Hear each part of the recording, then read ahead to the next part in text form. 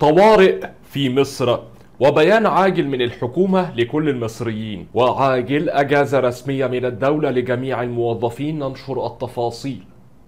وخبر صار من الحكومة بشأن سعر رغيف الخبز ننشر أيضا التفاصيل في الفيديو. وعاجل ننشر حقيقة ظهور نتيجة الثانوية العامة وبيان عاجل من الوزير. وخبر صار جدا بشأن قناة السويس وعاجل 2700 جنيه البرلمان بيناشد بسرعة تطبيق الحد الأدنى للرواتب. وعاجل مبلغ كبير جدا. كم سيبلغ قرض مصر الجديد من صندوق النقد الدولي؟ في البداية عاوزين نصلي على الحبيب محمد صلى الله عليه وسلم. قبل ما نبدأ في تفاصيل الأخبار اشترك في القناة من زرار الاشتراك الأحمر أسفل الفيديو. ده مهم إن شاء الله عشان تجيلك أهم الأخبار. واضغط على زرار ال like. عاوزين نوصل في هذا الفيديو ل 2000 أعجبني أو like. وقبل ما نبدأ في الأخبار عاوزين نغرق التعليقات بكلمة تحيا مصر زي ما متعودين في كل فيديو. نبدأ مع بعض في تفاصيل. أول خبر معانا وطوارئ في مصر وبيان عاجل من الحكومة لكل المصريين وأعلنت الإدارة المركزية للسياحة والمصايف في الإسكندرية بمصر حالة الطوارئ وذلك بعد تحذير الهيئة العامة للأرصاد الجوية بسبب زيادة سرعة الرياح وارتفاع الأمواج. وبحسب بيان مصايف الإسكندرية فإنه تم اتخاذ كافة الإجراءات والاستعدادات التي تحافظ على أرواح من على الشواطئ.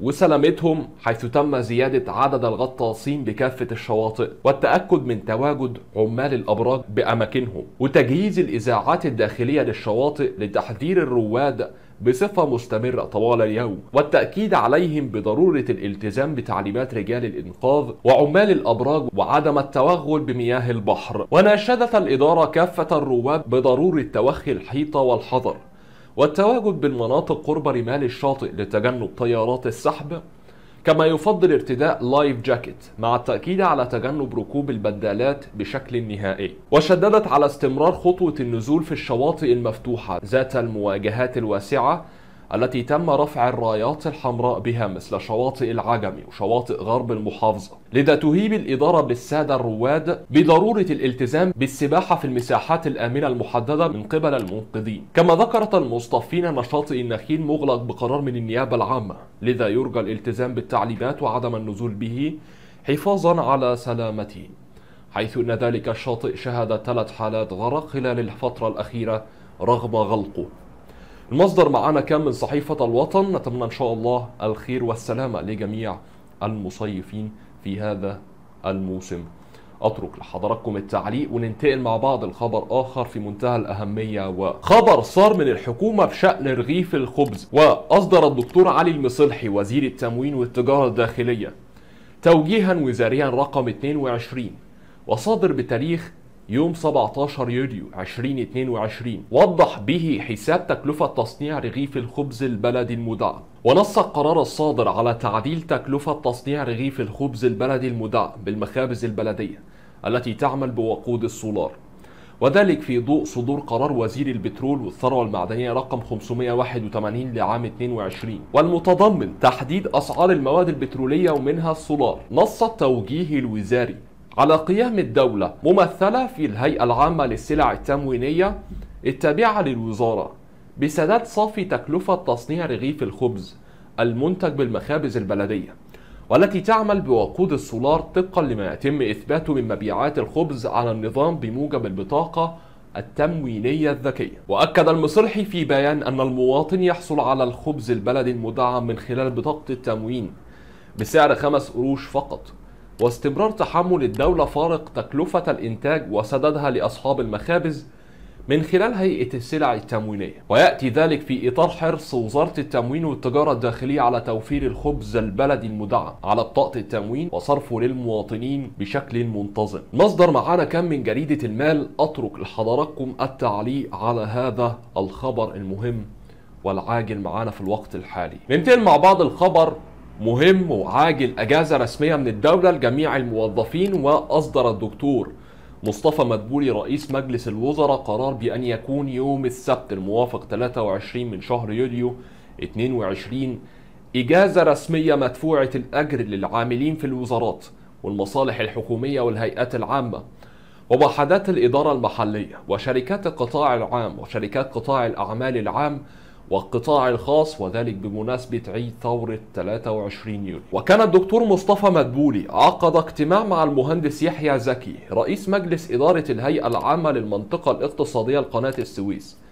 لمتابعة الموقف التنفيذي للمشروعات الاستثمارية بالمنطقة الاقتصادية لقناة السويس. وشدد الدكتور مصطفى مدبولي على ضرورة تعظيم الاستفادة من الفرص الاستثمارية القائمة والمطروحة بالمنطقة الاقتصادية لقناة السويس. وجه بمضاعفة الجهود من أجل تفعيل مذكرات التفاهم الموقعة لعدد من المشروعات خاصة بالهيدروجين الأخضر وترجمتها لعقود فعلية. وخلال الاجتماع تناول المهندس يحيى زكي رئيس مجلس إدارة الهيئة العامة للمنطقة الاقتصادية لقناة السويس الموقف التنفيذي لمشروعات المنطقة الاقتصادية مستعرضا الجوانب المرتبطة بتمويل الاستثمارات لتطوير منطقة شرق بورسعيد وموانئ السخنة وغرب بورسعيد والعريش.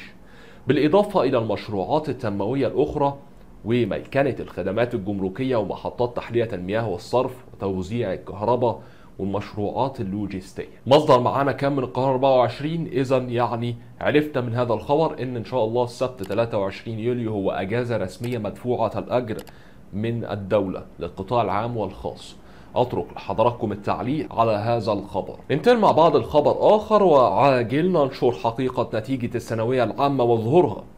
وبيان عاجل من وزير التربية والتعليم. ونفى الدكتور طارق شوقي وزير التربية والتعليم ثلاث شائعات انتشرت على ال social media خلال الأسبوع الحالي. وترصد صحيفة مصراوي أبرز الشائعات التي تم نشرها على ال social media. وأولى الشائعات معانا وهي ضم سنة خمسة وسنة ستة ابتدائي بالعام الجديد. يعني هيضموا سنة خمسة وسنة ستة مع بعض. والدكتور طارق شوقي بالطبع نفى ما تم نشره على ال social media بشأن ضم صفين الخامس والسادس الابتدائي في صف دراسي واحد بالعام الدراسي الجديد 2022 2023 بالنظام التعليمي الجديد 2.0 وقال وزير التربية والتعليم إن ما تم نشره على ال social media في هذا الشأن ليس له أي أساس من الصحة وكلام فارغ. وتم الانتهاء من المناهج الجديدة في الصف الخامس 2022 2023 وشوقي قال نستمر في التطوير عام تلو الآخر بلا أي ضم لسنوات مثل هذه الأكاذيب. في برضو شائعة أخرى نشروها يعني بعض من أولياء الأمور والطلبة وموعد انطلاق العام الدراسي الجديد علق الدكتور طارق شوقي وزير التربية والتعليم على ما تم نشره بشأن تحديد الوزارة موعد بدء العام الدراسي الجديد في 17 سبتمبر القادم. وزير التربية والتعليم قال إن الكلام ده بشأن إن الدراسة هتكون يوم 17 سبتمبر المقبل ليس له أي أساس من الصحة. شائعة أخرى والشائعة دي يعني عملت جدل وهو إعلان نتيجة الثانوية العامة 22 قبل 2 أغسطس. دكتور طارق شوقي وزير التربية والتعليم والتعليم الفني كشف حقيقة ما تم نشره على السوشيال ميديا بشأن نتيجة الثانوية العامة 22 هتكون قبل 2 أغسطس القادم ووزير التعليم قال إن كل ما يثار من أخبار مجرد اجتهادات لا أساس لها من الصحة وأعلنت وزارة التربية والتعليم إلغاء جميع امتحانات الطالب المشارك في واقعة الغش بامتحانات الفيزياء للدور الأول من عام 21 و 22 وحرمانه من أداء امتحانات الدور الثاني لذات العام مع احتساب عام الحرمان عام رسوب ومنعه من دخول امتحانات العام الثاني. وجاء ذلك بعد نتيجة التحقيقات التي تمت لكشف تفاصيل وملابسة الواقعة وفق بيان الوزارة.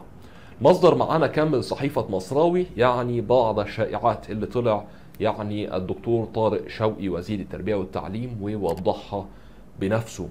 أترك ليكم التعليق على هذا الخبر. ننتقل مع بعض الخبر آخر وخبر صار جدا بشأن قناة السويس وأعلن مركز المعلومات ودعم اتخاذ القرار بمجلس الوزراء المصري تحقيق قناة السويس أعلى عائد في تاريخها خلال 21 و 22 وضح المركز أن إيرادات القناة شهدت ارتفاع بنسبة 20.7% لتسجل حوالي 7 مليارات دولار وذلك مقارنة بنحو 5.8 مليار دولار في 20 و 2021 ووفقا للمركز فقد سجلت القناة هذه الأرقام بعدما شهد عدد السفن العابرة لقناة السويس خلال 21 و 22 ارتفاعا بنسبة 15.7% مسجلة بذلك نحو 22 ألف سفينة وذلك مقارنة ب 19 ألف سفينة في 2021 كما شهدت الحمولة الصافية العابرة للقناة ارتفاعا بنحو 10.9 من 10% لتصل إلى 1.32 من 100 مليار طن في 2021 و 2022 وذلك مقارنة بنحو 1 مليار و19 من 100 طن في 2020 21 مصدر معانا كان من صحيفة الأهرام. أترك لحضراتكم التعليق على هذا الخبر. طبعا أخبار سارة جدا. يعني قناة السويس جابت لنا 7 مليار بدل 5.8 من عشرة مليار يعني فرق مليار و200 مليون دولار فرق نمو. أترك لحضراتكم التعليق على هذا الخبر. ننتقل مع بعض الخبر آخر وعاجل 2700 جنيه. البرلمان بيناشد بسرعة تطبيق الحد الأدنى للرواتب وطالب مجدي البدوي. نائب رئيس الاتحاد العام لنقابات عمال مصر وعضو المجلس القومي للأجور. أصحاب الأعمال بضرورة الإعلان عن مبادرات الحد الأدنى للأجور المقررة ب 2700 جنيه فورا. إسوة مما تم تطبيقه على العاملين بالحكومة وقطاع الأعمال والهيئات الاقتصادية في إبريل الماضي خصوصا بعد تحريك أسعار المواد البترولية مؤخرا مما ترتب عليه تحريك بعض أسعار السلع الأساسية. وناشد بدوي بسرعة انعقاد المجلس القومي للأجور لإجراء حوار عاجل حول تداعيات وآثار ارتفاع أسعار بعض السلع وكيفية إيجاد حلول لمواجهة تلك الآثار ووضع سياسات جديدة لربط الأجور بالأسعار. مصدر معانا من صحيفة مصراوي إذا البرلمان بيطالب بتطبيق الحد الأدنى للأجور وهو 2700 جنيه. أترك لكم التعليق على هذا الخبر. ننتقل مع بعض الخبر آخر وعاجل مبلغ كبير جدا. كم سيبلغ قرض مصر الجديد من صندوق النقد الدولي؟ يتوقع محللون اقتصاديون أن تحصل مصر على ما بين 5 إلى 20 مليار دولار من صندوق النقد الدولي. ضمن برنامج جديد ستنفذه مصر مع الصندوق. ومنذ أسبوعين أعلن الصندوق أنه أجرى مناقشات مثمرة مع السلطة المصرية حول السياسات والإصلاحات الاقتصادية. التي ستدعمها تسهيلات الصندوق الممدد في الفترة المقبلة. وقال المحللون الذين تحدثوا لصحيفة مصراوي أن البرنامج الجديد هيكون بمبلغ كبير نظرا لارتفاع الفجوة التمويلية لمصر خلال السنوات المقبلة. كما أنه يتطلب إصلاحات تستلزم تمويلا كبيرا. ويعرف الصندوق التسهيل الممدد بأنه يقدم عندما يتعرض بلد لمشكلات خطيرة متوسطة الأجل في ميزان المدفوعات بسبب مواطن ضعف هيكلية تتطلب وقتا لعلاجها. ويكون التسهيل من خلال برنامج يبلغ ثلاث سنين وأحيانا يمتد لأربع سنوات ويغطي فترات أطول للعمل المشترك وإتمام السداد بحسب الموقع الرسمي للصندوق. وتوقع الدكتور فخري الفقي رئيس لجنة الخطة والموازنة بمجلس النواب والمسؤول السابق بصندوق النقد الدولي أن تحصل مصر على ما بين 5 إلى 7 مليار دولار ضمن برنامجها الجديد مع صندوق النقد الدولي. وأضاف صحيفة مصراوي أن هذا المبلغ يتناسب مع الاحتياجات الكبيرة لمصر خلال الفترة المقبلة كما يتناسب مع حصة مصر في صندوق النقد الدولي. وتبلغ قيمة حصة مصر في حقوق السحب الخاصة بصندوق النقد الدولي أكثر من 2.8 من عشرة مليار دولار. ويخضع الاقتراض في إطار اتفاق التسهيل الممدد لحد الاستفادة العادي الذي يبلغ 145% سنويا من حصة البلد العضو في الصندوق. وتشير بيانات الصندوق إلى أنه يمكن أن تتجاوز هذه الحدود في الظروف الاستثنائية شريطة أن يستوفي البلد المقترض مجموعة من المعايير المحددة سلفا. بحسب الفئي فإن بعض الدول تحصل على استثناء في هذه الحصة خاصة إن كان لها سجلا جيدا مع الصندوق ونفذت من قبل برامج ونجحت فيها. وفي مذكرة بحثية لبنك BNP Paribas مطلع الشهر الحالي توقع أن تنطوي المفاوضات بين مصر وصندوق النقد في النهاية على قرض بحجم لائق يبلغ 10 مليارات دولار. أو أكثر للتعويض عن تقييد وصول مصر المتزايد إلى أسواق السندات الدولية والديون. وتوقع البنك في مذكرة بحثية لاحقة أن تبلغ الفجوة التمويلية في موازنة العام المالي الحالي لمصر نحو 7.4 مليار دولار، وهو ما يتطلب تمويلا من عدة جهات أبرزها الصندوق. أكثر من 15 مليار دولار يتوقع هاني جنين الخبير الاقتصادي والمحاضر في الجامعة الأمريكية أن تحصل مصر على حجم قرض يتراوح بين 15 ل 20 مليار دولار. أشار إلى أن بعض الدول تتجاوز حصتها بنسبة كبيرة جدا. وضح لمصراوي أن الأرجنتين مثلا اقترضت 45 مليار دولار في إبريل الماضي وحاليا قروضها أكبر من 1000% من حصتها في حقوق السحب الخاصة. وأرجع جنين هذا التوقع إلى حجم الفجوة التمويلية السنوية لمصر خلال الأربع سنوات المقبلة كبيرة جدا وتبلغ ما بين 30 إلى 40 مليار دولار. وهو ما يستدعي عودة مصر إلى سوق السندات والصكوك العالمي بتصنيف ائتماني مناسب وهو أمر صعب للغاية في غياب الاتفاق مع الصندوق. المصدر معانا كان من صحيفة مصراوي. أترك لحضراتكم التعليق على هذا الخبر. أنتم تتوقعوا ما هو حجم المبلغ اللي مصر يعني هتقترضه من صندوق النقد الدولي؟ عاوز أعرف رأيكم. ادونا أرقام في التعليقات تحت. بقرأ تعليقات حضراتكم كلها. جينا مع بعض لنهاية نشرة الأخبار. أتمنى أكون خفيف على حضراتكم. ما تقلتش عليكم. ما تنسوش تعملوا متابعة للصفحة وتعملوا شير للفيديو ولايك. إن شاء الله أشوفكم في فيديو جديد وقريب. والسلام عليكم ورحمة الله تعالى وبركاته.